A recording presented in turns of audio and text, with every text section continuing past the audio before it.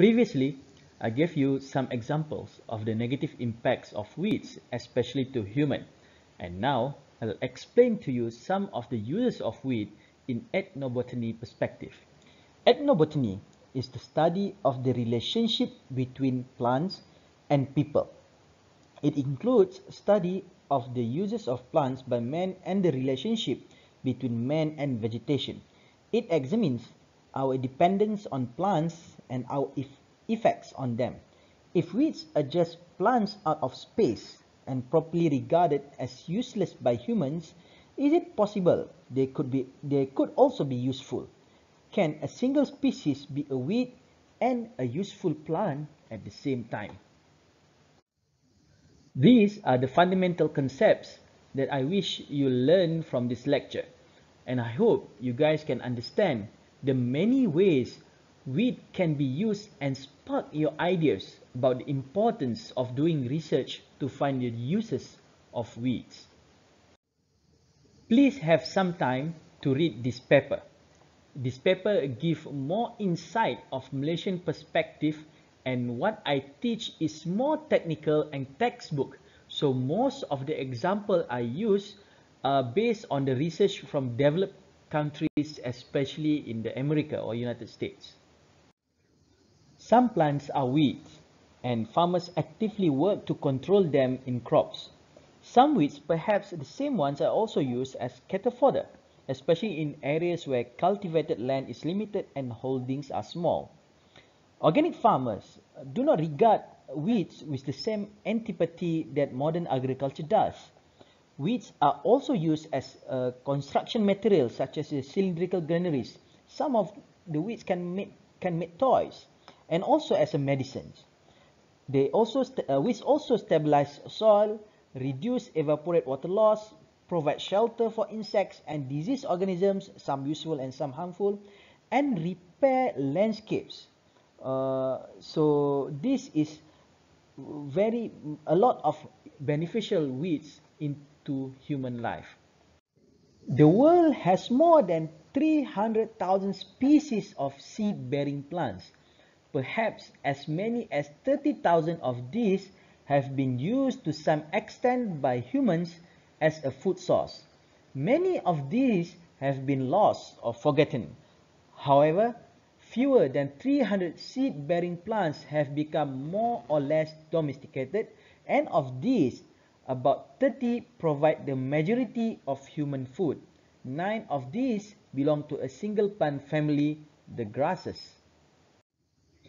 For example, this young pigweed, uh, this pigweed eh,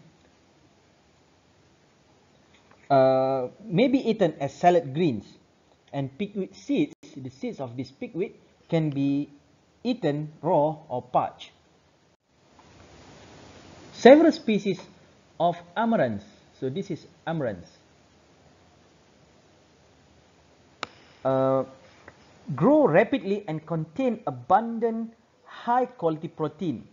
Leaves of some species contain up to 33% and their seed have around 16 to 19% protein. Young leaves uh, can be eaten as greens and dry roots can be eaten as a substitute for ginger or candied by boiling in a sugar syrup. Next is barnyard grass. This is barnyard, barnyard grass. Barnyard grass or in Malaysia you call it rumput sambau. Very abundant in a rice cultivated area. This seed, the seeds of this barnyard grass may be eaten dry or parched and have been ground into flour. Wild mustard, uh, this is wild mustard, is another weed that very abundant in certain area. The leaves of this wild mustard uh, have a hot, spicy flavor that blends well in salads with lettuce and dandelion. Wow, mm, yummy. Uh, and this wild onion, uh, this also next is wild onion the ancestor of the domesticated onion, has been used as a relish to flavor cooked foods and to cover the taste of gamey meat. So they kind of like eaten by uh, to uh, with uh, can be cooked with the meat. So next is this is kudzu. So you you, you look how uh, invasive of the kudzu it is. For for some Japanese, they eat kudzu root. It is ground to a fine powder and used as a condiment. The leaves are also eaten. Kudzu was promoted extensively by U.S. Department of Agriculture in the 1930s to the U.S. to stabilize ero eroding land. The Chinese have long relied on simple kudzu root extract to stop human craving for alcohol. It is sold as an over-the-counter drug in China and is 80% effective when taken for two to four weeks. The extract was evaluated in the United States and apparently did not gain approval for treatment of alcoholism. Which, which scientists like me do not welcome fields of kudzu. You can see how the invasive they are. Okay, but other priorities may prevail. Weed seed screenings uh, are used in many US states as animal feed, a practice with some disadvantages. A primary concern is that some seed will pass through the animals and the animals effectively distribute weeds to new place by their feces. The forage and nutritional value of many weed species is equal to that of cultivated forage crops. For examples, Napier is a, Pennisetum purpureum has been introduced into Malaysian into Malaysia as nutritional forage for livestock industries. Many more plants, which some are considered weed, such as petai belalang, Leucaena, uh, Leucaena species, okay, uh, can be used as feed supplement for cows, goats, and even rabbits. Plants move in one place but do not move in space while growing as animals do because they are immobile and cannot escape from predators. They have evolved elaborate chemical defenses. Plants are full of mostly unknown, frequently unusual chemical compounds that may have medicinal properties. More, most, perhaps as many as 99% of the flowering plants have never been tested. A few are known to traditional tribal healers, often called shamans or bomoh, scientists have been interested in the actual and potential use of plants in medicine for a long, long, long time. Possible medicinal uses of 26 common weeds has been written since 1904 by Henkel.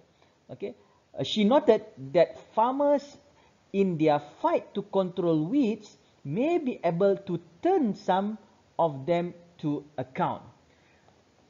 Then uh, please read Dr uh, Dr. Baki uh, paper, Dr. Baki's paper that I uh, mentioned before about utilizing weeds for medicinal uses in Malaysian perspective.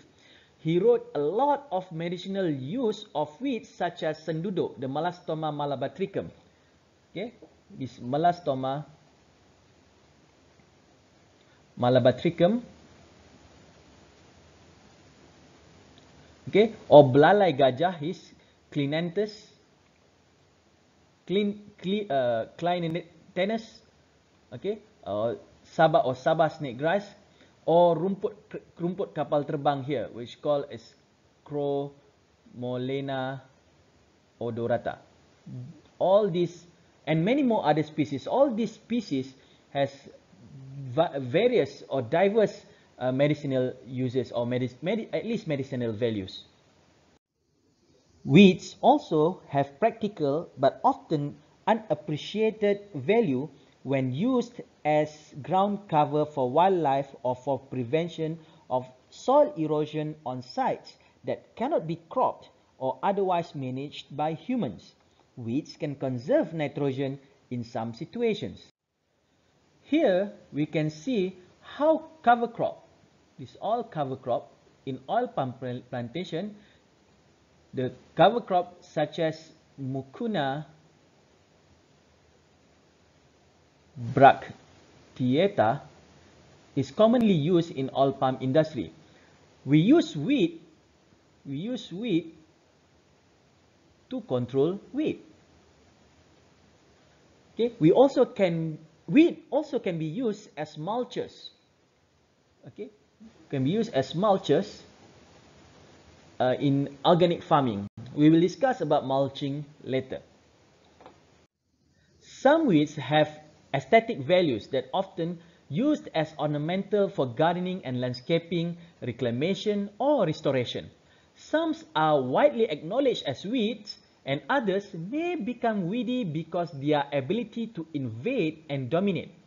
All show the ability to escape their intended habitat.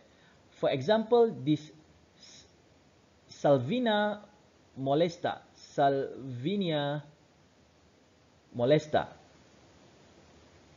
this is an aquatic weed that has been used in aquarium, small ponds, and recreational lakes.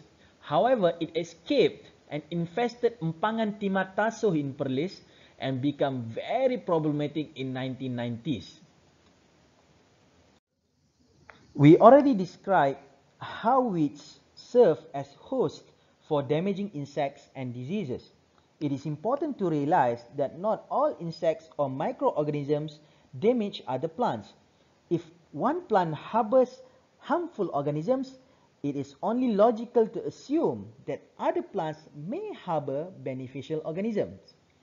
The agricultural quest for high-yielding monocultures has reduced plant diversity to the point where beneficial insects have been reduced in or eliminated from crop fields. One way to regain a desirable diversity in crop fields is to manipulate the abundance and composition of the weed flora. Weed borders, occasionally weedy strips, or weed presence at certain times in the crop growth cycles are some of the possibilities. Weed scientists and farmers may even want to consider planting weeds that harbor non-beneficial organisms. This could optimize plant protection and crop yield while minimizing other inputs. Pause this video and understand this table. Next, Eichhornia. Eichhornia crassipes.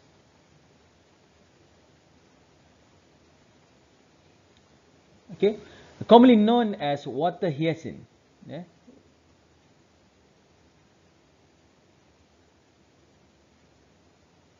is an aquatic plant native to the Amazon basin and is often considered a highly problematic invasive species outside its native range.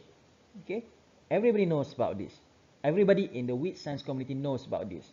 However, water hyacinths can be used for bioremediation. It can be used for bioremediation.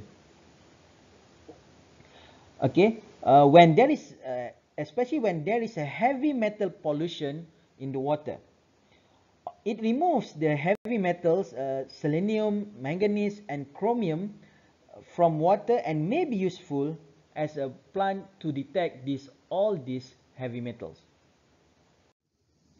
Now, can you find more of the uses of weeds? Please read Dr. Baki's paper and, list, and let's discuss it in the class. Couple of things for you to think about. Let me know your opinion in the next class.